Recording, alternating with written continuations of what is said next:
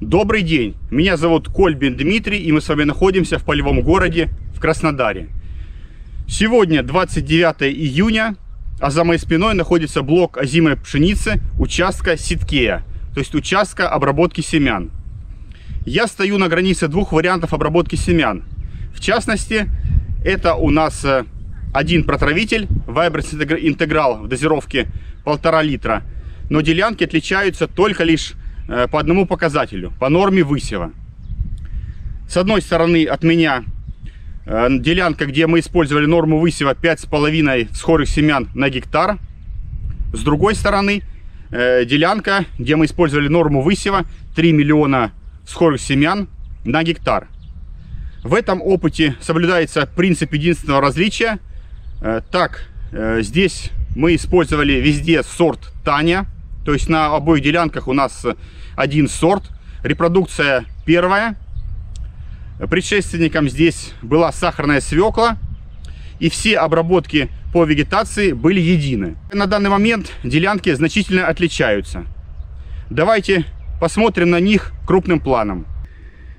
Сейчас э, я стою на границе двух вариантов. И давайте посмотрим на один из них более детально. Мы видим здесь э, э, неполегшую пшеницу в прекрасном состоянии.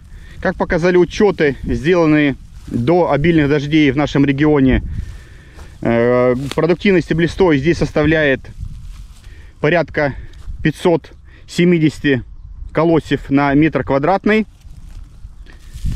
То есть э, урожай здесь будет неплохим.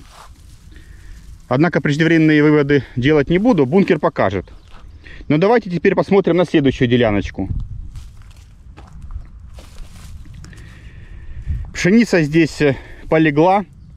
Этому способствовали э, обильные дожди, которые прошли буквально 5 дней назад. Выпало Э, за одну ночь выпало более 50 миллиметров осадков. И вы видите здесь полностью полегшую пшеницу, что несомненно отразится на урожайности. Однако, как показали учеты, проведенные э, более 10 дней назад, продуктивность стеблистой здесь составляет порядка 520 э, продуктивных колосьев на метр квадратный. То есть на данный момент, после обильных осадков, мы имеем картину с полеганием посевов э, при максимальной норме высева пшеницы. 5,5 семян на гектар. Там, где э, мы использовали минимальную норму высева 3 миллиона семян на гектар, растение с осени э, формировало минимальную густоту. Получается, каждое из, каждое из растений имело большую площадь питания. Как следствие, это лучшее кущение, э, более толстая соломина, которая сохранила стеблестой прямостоячим, несмотря на обильные осадки и сильный ветер. Э, поэтому делайте выбор сами.